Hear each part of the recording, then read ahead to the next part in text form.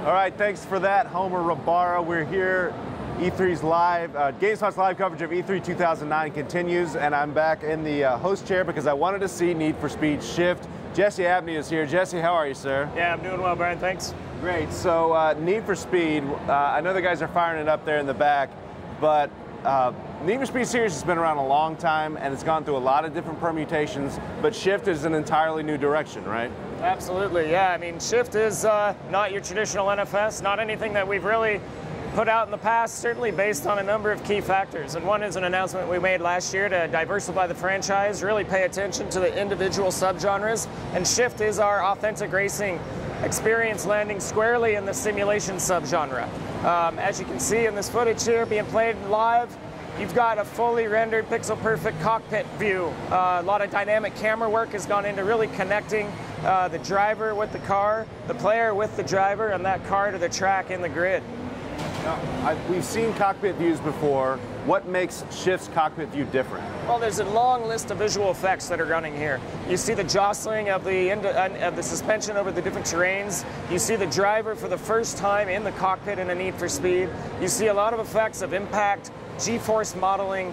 Uh, really, this experience has been crafted to be functional far more than just a feature set checkbox on the back of the, the package. So with uh, collaboration with Patrick Soderlund has really led us to craft from a driver's perspective uh, what really works about this view, how the camera is tuned to really be more functional than we've ever seen in any other racing game, and really lend to a new level of challenge. What I like about it the most is the challenge of being behind the windscreen, being in the cockpit, just like in real life racing, and actually dealing with the, the challenge of being in that position more so than in a chase cam or in a bumper cam. Yeah, and it actually brings up a good point because uh, the I would say the majority, correct me if I'm wrong, but the majority of people who play racing games typically play in the chase cam or the bumper cam. But it seems like you guys really are trying to draw people inside the car. It's absolutely, yeah. I mean, our efforts in game design are to immerse the player in an experience. And in this case, the experience is as a race car driver.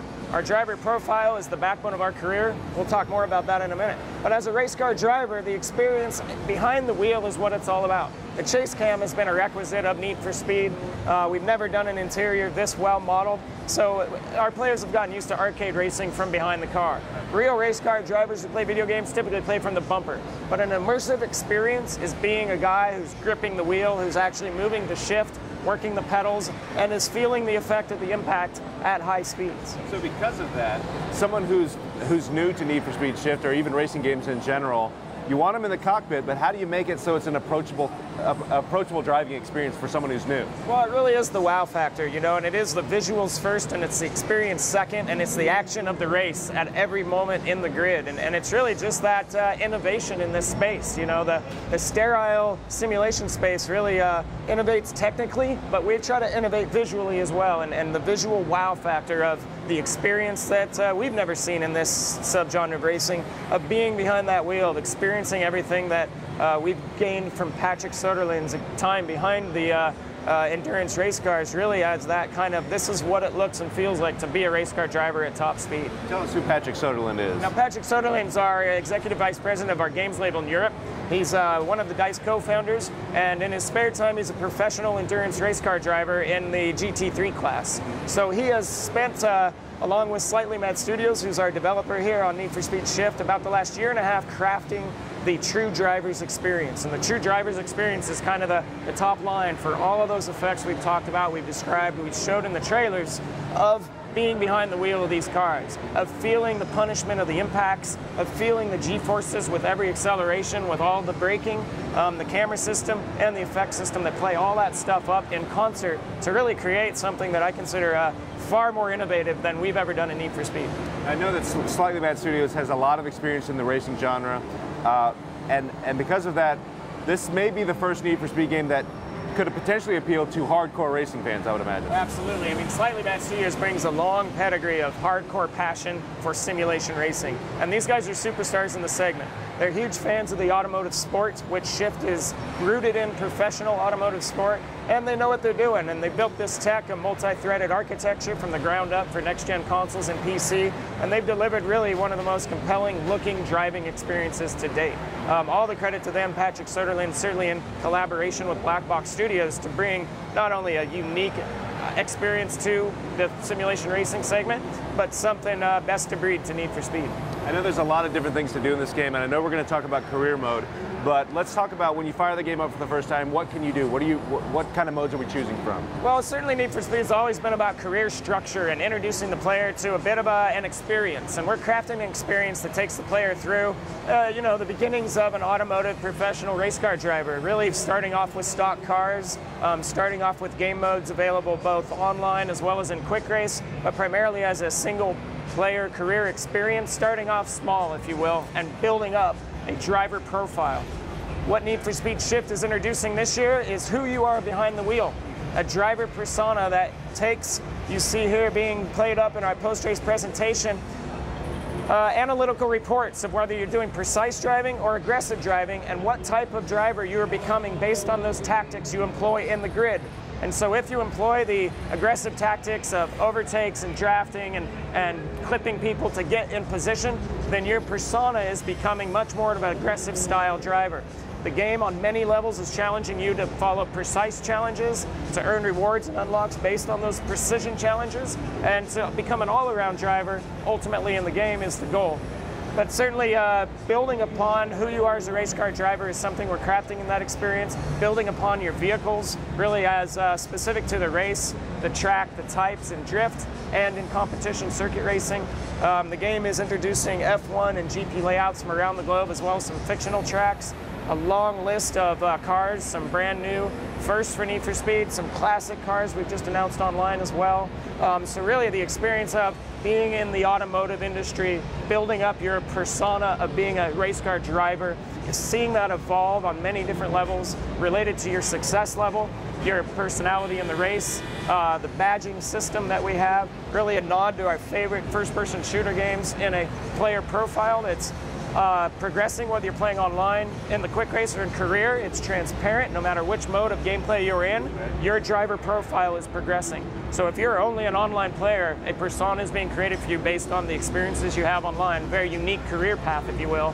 Whether you're playing quick race or career, it's all transparent. And so it becomes a very evident way for people to see what the competition looks like, what they've achieved, um, and who they're playing against.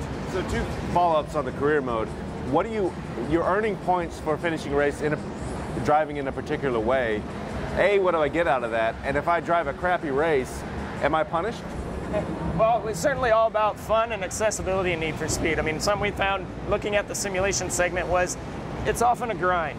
It's often a grind to have to learn the track, every brake point, every corner, and compete with a perfect AI. And so there's a number of things that bring in the career mode in the driver profile, a number of levels of rewards and unlocks that players are getting.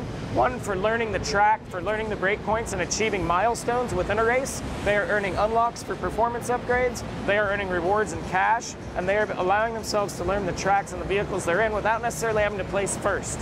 So one of the things in the career mode we're introducing is that certainly at some point you will have to achieve a podium finish, but that doesn't always have to be first. It doesn't always have to be your first time out.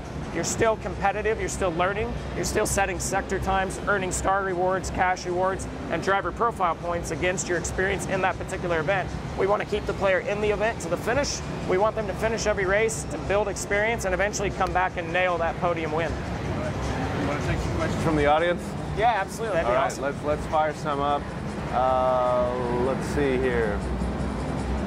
Well, Magnus uh, Muru from Estonia, he's asking about, um, he's basically asking, are there any supercars? But I guess the wider question is, what kind of cars are in this game? Well, this game's really, I mean, we've introduced our car list just recently, and it's it's just what's going in the box. Um, as Need for Speed Undercover is shown, we've taken a step in the direction of supporting post-launch development continue to work out deals and announce surprises for the Need for Speed community. Uh, the cars, some of the more exciting cars I love are the Zonda F, the Zonda R. Certainly, we just announced our cover boy car is the BMW Racing GT2. beautiful race modified, two of a kind in the world. Uh, that's certainly a supercar elite. Um, Lamborghinis, uh, Porsches, and top tier classes. Uh, so certainly a wide complement of high performance race cars, high performance supercars, and certainly some uh, pretty cool announcements coming in the weeks and months to come. More to learn, but uh, Lionel, Lionel, Messi from Barcelona wants to know uh, about customization. The Need for Speed series has always been about customization, Absolutely, right? yeah, and vehicle customization is a tenet of Need for Speed, and what our fans really appreciate is taking their licensed cars and building them up. Traditionally, again, we've been uh, external customization, but now that we have these wonderful interiors, we have an authentic racing game, we're now race modifying the interiors as well, and what we're seeing in this GTR is a very stock look at Nissan's uh, Killer. But as you race modify this thing, we're stripping away all the plastics, all the superfluous materials, we're lightening the load, we're increasing the performance specifications of the car, the cornering abilities, and we're we're turning on a very modified, race-tuned interior as well as exterior. The visual modifications will affect things like downforce. Tunable options go pretty deep. Slightly Mad Studios, again, is hugely uh, interested in having one of the most complex performance tuning systems in Need for Speed. And so what fans really love the performance tweaks, the performance tuning, uh, certainly that apply to each race, condition, and every track, are certainly a long range of options. Do you need to know thing, about things like gear ratios and things like that to get your car tuned up? Absolutely not. I mean, something again that goes towards the fun factor in Need for Speed is making sure players that just want to upgrade a car have an option too. And so to have performance tiers, those players are going to understand performance tier 1 versus performance tier 4 upgrade, one click, and things are done for them on a very low level. So people can get pretty deep in the system, but we've also abstracted a lot of that away to just make it simple and fun. Great. Uh, this guy's named Dieter, and he wants to know about car damage. Absolutely. I mean, uh, ProStreet introduced car damage on licensed vehicles for the first time in Need for Speed uh, undercover as well. And now, again, in an authentic racing design, we feel car damage, especially performance damage, which I believe is what the question relates to, is right. is part of the game. And again, performance damage affecting top speed and wheel pull and other things that really lead to that punishment of losing control of your race car in the middle of the heat of the battle is a big part of the realism behind this type of game. And so, while we'll always have options for toning that down, scaling it back, or even turning it off, um, we, we, you know, performance damage is absolutely part of the game, as you can see here in the, the work we've done on this GTR. Visual damage is a big part of the game. Uh, it's a big part of the fun that we've brought to Need for Speed in recent years. All right, last question for me before I ask for the release date is, what can you tell us about online, uh, online racing? Well, certainly online Racing is very important to us. Uh, we'll be announcing a lot of exclusive modes, brand new to shift, certainly a lot of the most popular modes. Uh, we have the ability to continually craft an online experience even after the product ships now, thanks to DLC and post-launch development plans. Um, so definitely expect more news on exactly what those are in the weeks and months to come. When is Shift coming out? We must know. Shift is coming out September 22nd here in North America, and just a few days earlier, September 17th in Europe and England. All right, PC, Xbox 360, PS3? And PSP. And PSP. All right, there you go. Jesse, thanks for being yep. here. There's your look at Need for Speed Shift. Right now, we're going back to the Nintendo booth to check out what's going on over there.